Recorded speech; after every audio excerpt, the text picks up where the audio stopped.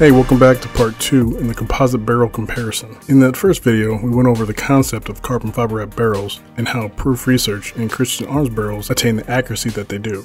In the second part, we're going to go over a couple more composite barrels, more specifically the BSF barrel and how they utilize carbon fiber around their barrels differently, but achieve the same results as Proof Research and Christensen Arms.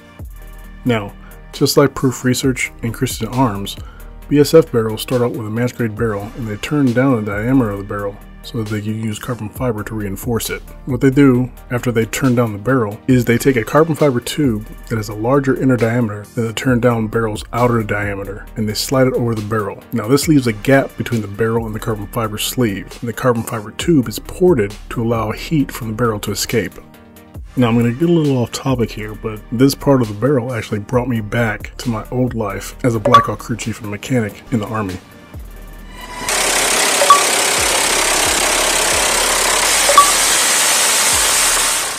After the carbon fiber tube is slid on over the turned down barrel, at the end of the barrel, they thread on a jam nut of sorts that resembles the Jesus nut of a Black Hawk helicopter's main rotor head. Now, the reason why they call it Jesus nut is technically it's the only threaded nut holding the main rotor head to the aircraft although it utilizes pressure from a series of bolts that thread through that nut onto a pressure plate on the bottom of the main rotor shaft extension. And with split cones that evenly distribute the pressure on the top and bottom, it in a sense locks in the torque. But let me stop reminiscing and get back to the barrels, huh?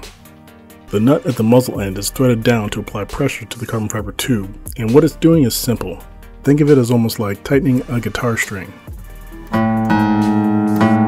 Doesn't quite match. With a metal wire secured at its ends, when it is loose, you can easily move the wire around. Now as you pull the ends further from each other, the wire gets tighter and harder to move, becoming more rigid. Now, with the portion of the barrel inside the carbon fiber tube being the wire in the example, the endpoints that would be doing the pulling are the rear of the barrel by the extension and the jam nut up at the muzzle. Now, most AR barrels after the Clinton ban have come out with threaded ends. I did not have sexual relations with that woman. Miss Lewinsky.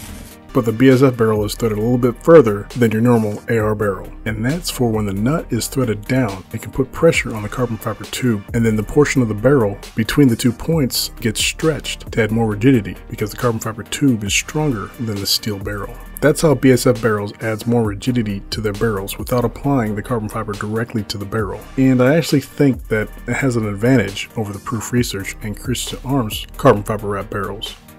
Now remember in part 1, I said that carbon fiber is generally an insulator of heat, especially across the threads of the fibers, but it can be a conductor along the length of the thread from end to end, especially when some graphites or diamond is added to the carbon fiber. Well, even if Proof Research and Christensen Arms have added those to their carbon fibers and resins, the heat would still be traveling across the fibers, not along the length of them. That would make it more of an insulator.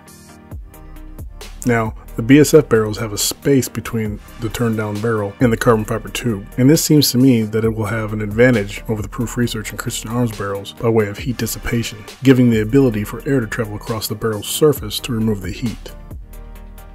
Along with porting the carbon fiber tube, BSF barrels are also able to further flute the barrel underneath the carbon fiber, providing more weight reduction. And on top of that, the fluting actually creates more surface area on the barrel for heat dissipation.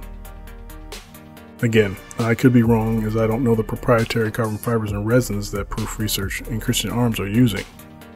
But let's move on to the straight jacketed barrels. Now, I had gained an interest with straight jacketed barrels when Colion Noir uploaded his review of his upper receiver with a Teludyne barrel. Now, I'm talking before his NRA rise to fame, when he still did tactical reviews of The Walking Dead.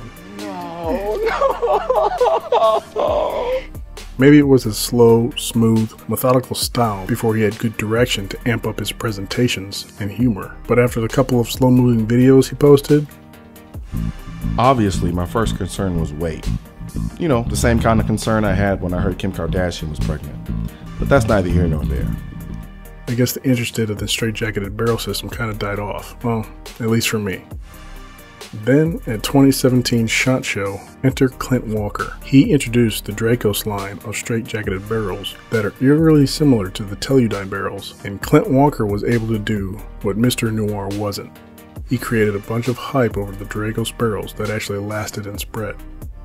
Now, I don't know if Teludyne makes Dracos barrels or if they have some type of partnership, but they're both very, very similar. But they do have one difference. Dracos has external threads to mount a muzzle brake or a suppressor. Teludyne has internal threads to mount their proprietary muzzle brake. Anyways, Teludyne and Dracos both turn down their barrels like the carbon fiber barrels we talked about earlier, but they put a sleeve around it similar to BSF. But then they fill the gap between the sleeve and the barrel with their proprietary media and cap it off. I watched Teludyne test footage, and it does seem very convincing that they actually show the chamber temp readings, which is something I wasn't able to do with the carbon fiber reinforced barrels that I have, at least not yet. And seeing the high speed footage of the rigidity comparison between a regular barrel and one of the straight jacket systems was pretty nice and pretty convincing. Maybe their proprietary media that they pour between the barrel and jacket is considerably more rigid than carbon fiber. It's over 9,000!